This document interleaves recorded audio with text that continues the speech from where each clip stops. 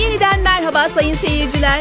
Yüzyılın icadı dev robot hayrimatör, Rafadan Tayfa Göbekli Tepe filmini izledikten sonra Şanlıurfa'ya gelme kararı verdi. E tabii ki gelmişken Balıklı Göl'de herkes gibi balıklara yem verdi. Dev macera Rafadan Tayfa hayrimatör sinemalarda.